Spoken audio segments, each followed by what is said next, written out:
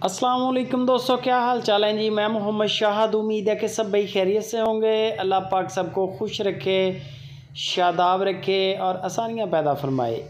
اس دعا کے ساتھ فیصل بھائی ہیں بٹر ڈیری فارم، ہارون آباد سٹی، ضلع بہاول نگر سے۔ دو بچھڑیاں لے کے آئیں۔ ایک تو فرسٹ ٹائمر ہے اور دوسری سیکنڈ ٹائمر ہے، تو کڑ ہے وہ۔ وہ بھی چیک کرواتا ہوں۔ پہلے نمبر پہ یہ بچھڑی دیکھ لیں آپ۔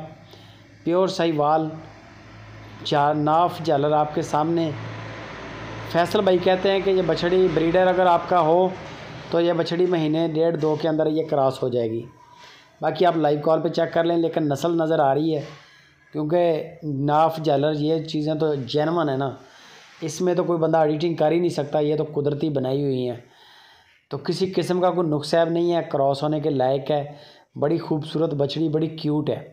سینگ بھی نہیں ہے۔ اور شہزادی ہے یعنی کہ کراس کروا لیں، بے شک اچھا سمن کروا لیں، جیسا آپ کے پاس بریڈر اویلیبل ہو۔ ایک لاکھ دس ہزار روپیہ اس کی ڈیمانڈ کی ہے۔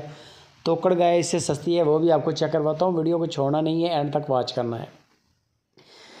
یہ آگے دوسرے نمبر پہ توکڑ گائے۔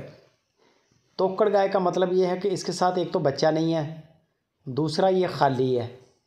اور تیسرا یہ ہے کہ اس کے نیچے دودھ بھی دو ٹائم کا چل رہا ہے، تقریباً چار پانچ کلو۔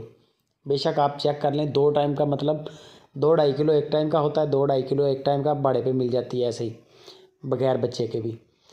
اس کی جو ڈیمانڈ کی ہے فیصل بھائی نے، وہ صرف ایک لاکھ روپیہ ڈیمانڈ ہے۔ بلیک کلر کا تھن ہے، سیمن اپنی مرضی کا کروائیں جیسا دل کرے۔ باقی لائیو کال پہ قد کاٹ دیکھ لیں، height, length, meat weight, live weight, یہ چیزیں نوٹ کر لیں۔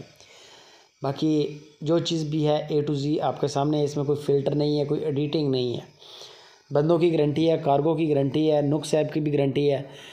کارگو فری ہے، کارگو کا کوئی پیسہ نہیں ہے، بندوں کی بھی فل گارنٹی ہے بے فکر ہو کر ڈیل کریں۔ کبھی ان کی کمپلین نہیں آئی کسی قسم کی۔ بندے سے گڈ ہیں، جانا چاہیں آپ جا سکتے ہیں یا ڈیرا پورا آپ چیک کر لیں۔ ماشاء اللہ پچیس تیس کے قریب اس وقت بھی جانور ان کے ڈیرے پہ کھڑے ہوئے ہیں۔ آپ یہ چیک کر سکتے ہیں ٹو سے کافی ساری تعداد میں ہے، باقی ان کے اپنے ریوڑ بھی ہیں فیصل بھائی کے چولستان کے اندر چروائی پہ۔ یہ وہاں سے پھر جو جانور تیار ہو جاتا ہے، سونے والا ہوتا ہے، وہ ادھر لے آتے ہیں اپنے سٹی کے قریب ہرون آباد لوکیشن ہے۔ مزید گپ شپ فیصل بھائی گئے ہیں ویڈیو اچھی لگے لائک بھی کریں کمنٹ بھی کریں اور شیئر لازمی کریں۔